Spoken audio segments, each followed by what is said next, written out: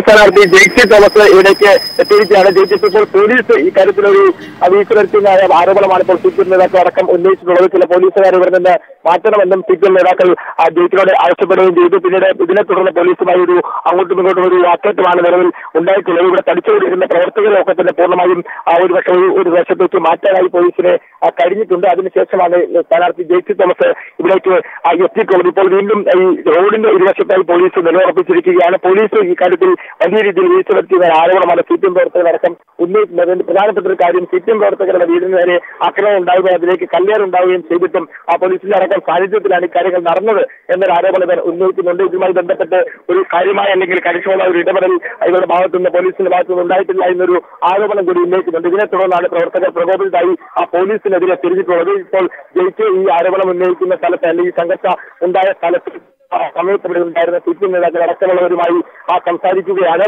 അതിനുശേഷം ഒരു പക്ഷേ വീണ്ടും ജയിച്ചടക്കം ഇടപെട്ടുകൊണ്ട് ഇവരെ പിന്തിരിപ്പിക്കണമെന്നൊരു ആവശ്യം ജില്ലാ പോലീസ് മേധാവി കൂടി സ്ഥാനാർത്ഥിയോട് ആവശ്യപ്പെട്ടിട്ടുണ്ട്. ഇതിന്റെ അടിസ്ഥാനത്തിൽ പൂർണമായും പ്രവർത്തകരെ തിരിച്ചുവിടാനൊരു ശ്രമമാണ്. കാരണം ആ ഇത്രയും ഇത്രയും സമയം വലിയ രീതിയിൽ സമാധാനപരമായ ഒരു തെരഞ്ഞെടുപ്പിലെ ഈ അവസാന നിമിഷത്തിലേക്ക് ഇത്തരത്തിലൊരു സംഘർഷത്തിലേക്ക് എത്തിക്കാൻ എത്തിക്കരുതെന്നൊരു ആവശ്യം പോലീസ് അടക്കം ഉന്നയിക്കുന്നുണ്ട്. ഒരു വശത്ത് കൂടി ഇരുന്ന സംസ്ഥാന നേതാക്കന്മാർ അടക്കമുള്ള ആളുകൾ ഈ മണ്ഡലകാരിൽ നിന്ന് പിരിഞ്ഞു പോയിരിക്കുകയാണ് ഒരു കോൺഗ്രസ് പ്രവർത്തകരാരും തന്നെ ഇപ്പോൾ അവർ നിലയുറപ്പിച്ച സ്ഥലത്ത് കോൺഗ്രസ് പ്രവർത്തകരെ കാണാൻ കഴിയുന്നില്ല. മറുവശത്തുണ്ടായിരുന്ന സി പി എം പ്രവർത്തകർ മാത്രമാണ് ഇപ്പോൾ ഈ സ്ഥലത്ത് ഉള്ളത്. ഇവരെ കൂടി ഇവരിൽ നിന്ന് വേഗം തിരിച്ചയക്കാനുള്ള ശ്രമമാണ് പോലീസ് നടത്തിക്കൊണ്ടിരിക്കുന്നത്. ഒരു പ്രധാനപ്പെട്ട കാര്യം കൂടി ഉണ്ട് കമലേഷ്. ഈ ആ സംഘർഷത്തെ തുടർന്ന് വലിയ രീതിയിലുള്ള ഗതാഗത തടസ്സം കൂടി ഈ മലയാള ആയിരത്തി നമ്പർ റോഡിൽ ഉണ്ടായിട്ടുണ്ട്. വലിയ രീതിയിൽ വാഹനങ്ങൾ പോകാനുള്ള ബുദ്ധിമുട്ടുണ്ട്. പോലീസ് അടക്കം ഇവിടേക്ക് കൂടുതലായി നിലയുറപ്പിക്കുകയാണ് കൂടുതൽ സ്ഥലങ്ങളിൽ നിന്ന് പോലീസ് ഇവിടേക്ക് എത്തുകയും ചെയ്യുന്നു.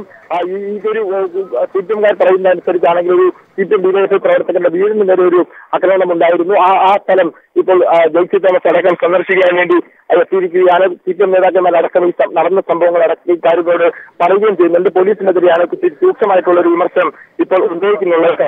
സംഭവങ്ങളൊക്കെ നടക്കുമ്പോൾ പോലീസ് ഇവിടെ നിശ്ചയമായി നിന്നു എന്നൊരു ആക്ഷേപം ഒരു ആരോപണം ഉന്നയിക്കുന്നുണ്ട്. അതായത് ഇപ്പോൾ സി പി എം നേതാക്കളുമായി സംസാരിച്ചുകൊണ്ടിരിക്കുകയാണ്.